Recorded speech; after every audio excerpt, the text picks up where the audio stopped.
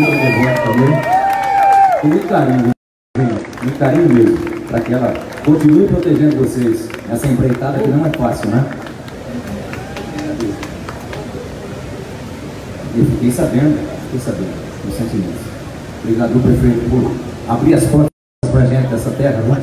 Seu Mauro da Casa Civil, a primeira-dama Virgínia, o senador Cidinho Santos, o eterno governador aqui, o eterno senador, cara arrojado faz a diferença, Hélio.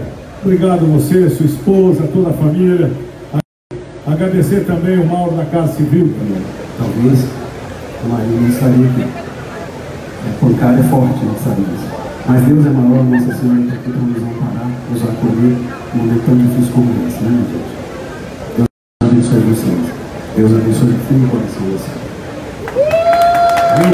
Elas estão bem, estão felizes. Deus cuida, com certeza.